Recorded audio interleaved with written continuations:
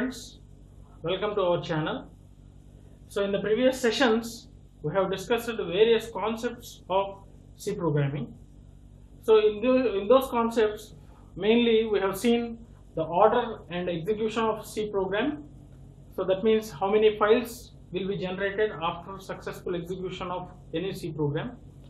And then we have seen the difference between the variables and the constants and what is a variable and then keywords, the different keywords used in, in our C language and the input and output functions that is printf function and scanf function. So once and also data types.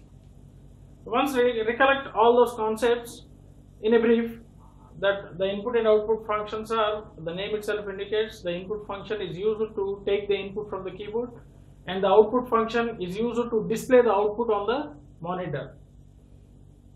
And coming to the keywords, there are mainly 32 keywords and each, each one is having a specific task given by the compiler.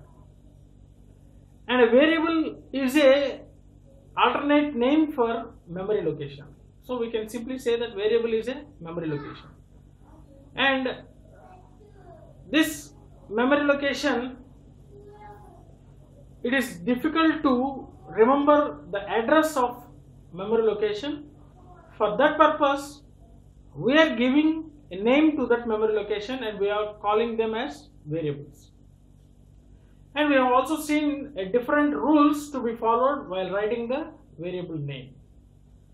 So before writing the logic itself, we need to give the instruction to the compiler that regarding the variables. So before writing the logic itself, we have to declare all the variables which we are using in the program.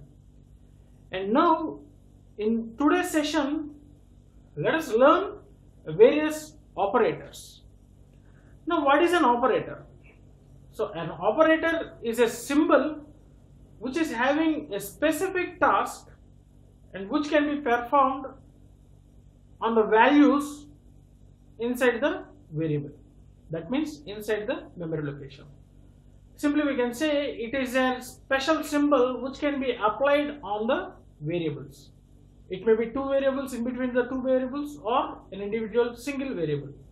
So depends upon the operator we need to perform the task. So in those operators, there are different operators in our C program. So in today's session, let us have a look on arithmetic operators.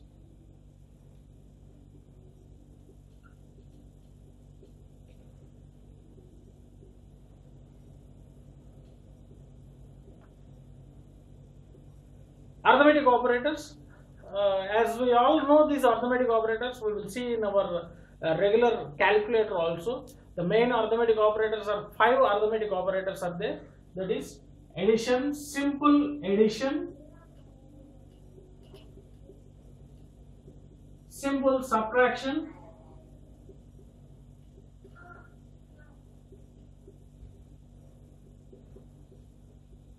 multiplication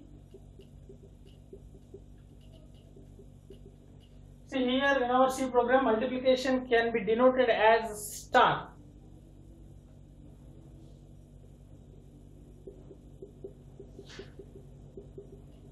Division and one more operator called modulo operator.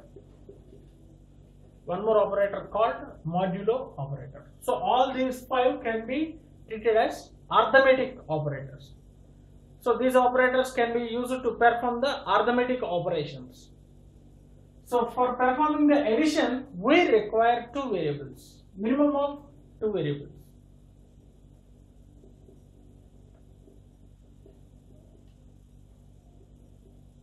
Even subtraction requires two variables. Even multiplication requires two variables. Division requires two variables. And also the modulo requires two variables. That means a plus b.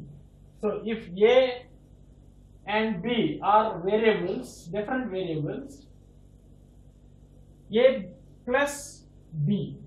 Similarly, a minus B, A star B, A divided by B, A modulo B.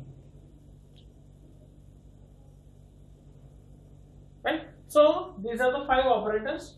This one will be the new, somewhat new for the users.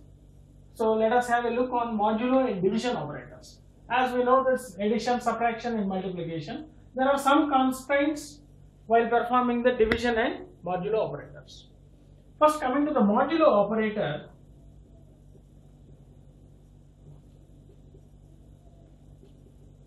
modulo operator. So this modulo operator will give the remainder as a result. Remainder by performing the division, the remainder will be given as remainder as result. Example, if A is equal to 5 and B is equal to some 2, then A modulo B means 5 modulo 2. That means divided by 5 with 2, so 2 2s are 4 and the remainder is 1. So the A divided by B is equal to the answer will be 1. So the remainder, so A is divided by 2 and the remainder will be the result of modulo operator. Similarly, if I consider one more example, some 10 and some 5, A is equal to 10 and B is equal to 5, A mod B is 10 mod 5. 10 is divided by by 5, 5 2s are 10, 0. So the output is a reminder. So here the output is A mod B is 0. And one more example, let us consider 5 and 7. A is equal to 5 and B is equal to 7. Now A mod B, that means 5 mod 7. So here the 5 must be divided by with 7. So here 5 is less than 7, so 0 times 0, the remainder will be 5. The answer will be A mod B is equal to 5. That means if A mod B, if A is less than B, then obviously the result will be A. So the main thing is after performing the division, the remainder will be result in modulo operator.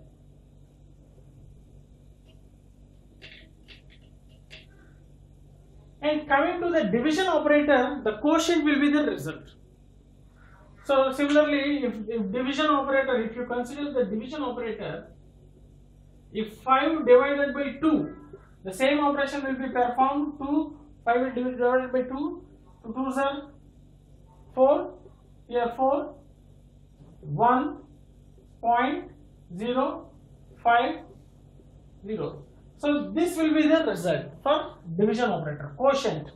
Quotient will be the result for the division operator. Remainder will be the result for modulo operator. That's a little bit difference between division and modulo. And as you may know that addition, subtraction and multiplication. There are no more constraints for these three operators. Now, what type of data can be performed for in between these operators, for these operators? So coming to the addition,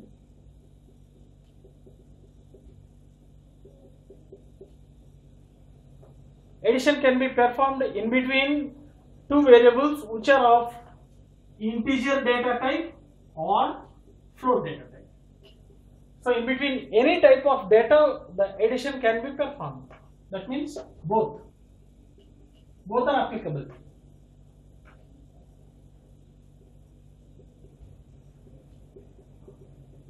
Subtraction. Here also both integer and float values can be applicable for subtraction.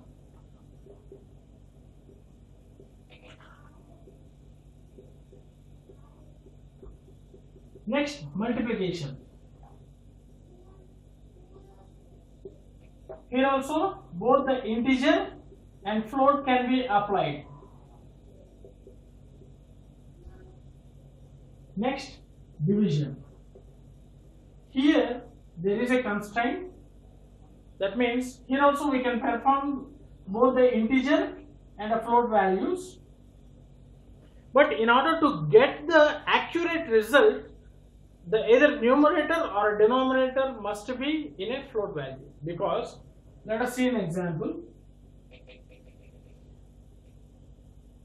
A is equal to 5 and B is equal to 2.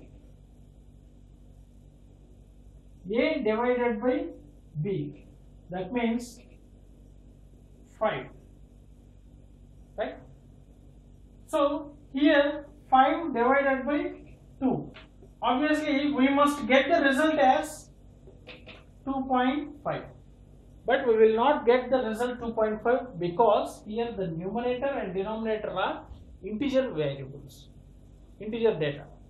So if both numerator and denominator are integers, the result will be inaccurate. That means it will give the result as 2, which is inaccurate.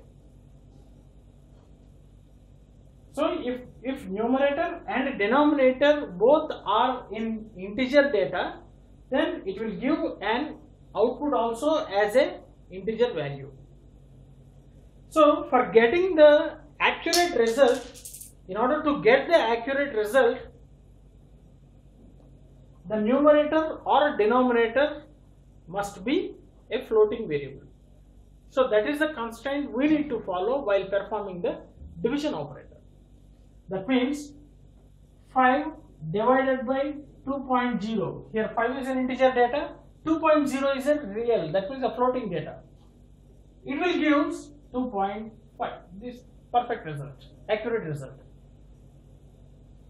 So the result may be inaccurate. So always the result will not be inaccurate because if a is equal to 4 and b is equal to 2, obviously the result will be integer, right? So the result may be inaccurate for all type of data if both the numerator and denominator are integers. So that's why we need to follow the constraint that is either numerator or denominator must be an float value in order to perform the division operator.